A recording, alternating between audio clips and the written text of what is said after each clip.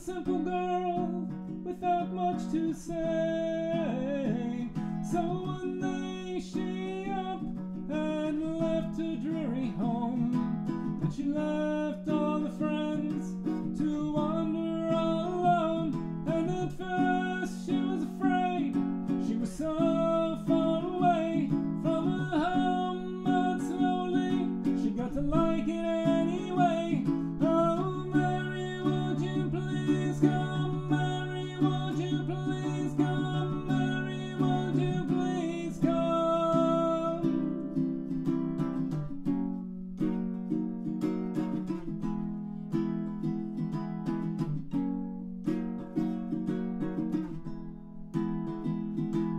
Time she found the mountain that she had been taught her whole life that she must avoid.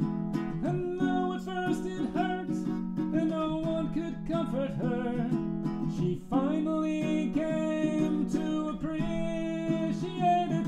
And she liked it, she liked it. Oh, wasn't she surprised?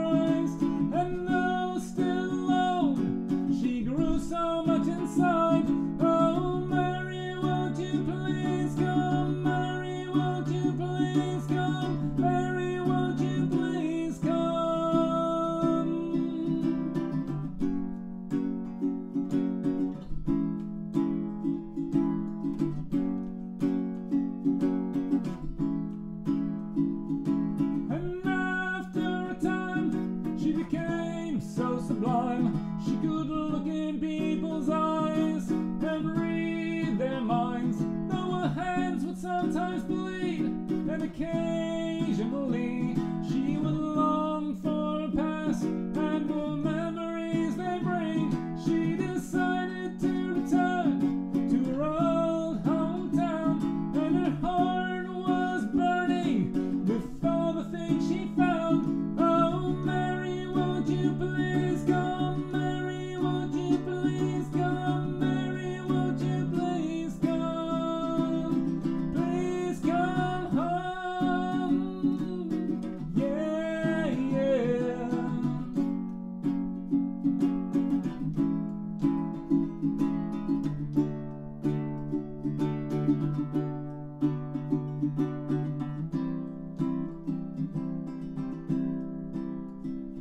So Mary came back, and at first no one recognized her face, and her friends were all a little bit afraid.